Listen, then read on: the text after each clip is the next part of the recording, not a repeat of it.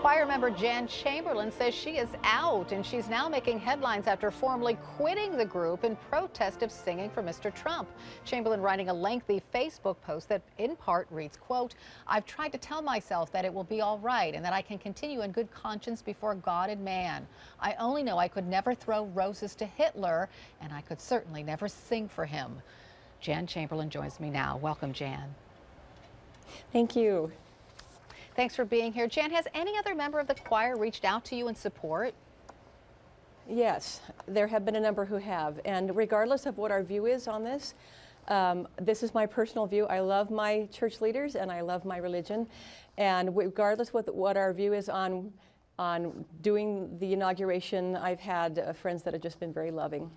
And I'm grateful for that. Thank you. So there's, there's absolutely no way that you'll change your mind. You've absolutely quit the choir.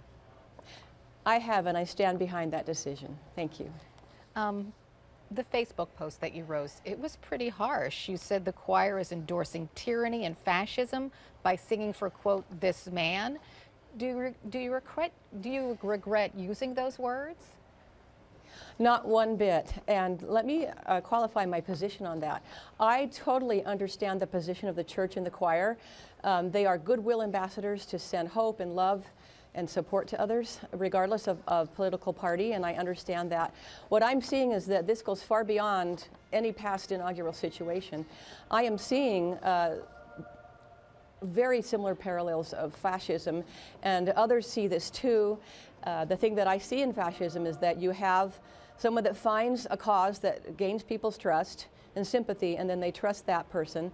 They find a target to attack, and use propaganda to make that look legitimate. They find their military and their financial support, and then they're off and going. I'm seeing the criticism of Mexicans but and Muslims, the, the requirement of, of Muslims to have to ha sign on a registry, and that deeply concerns me.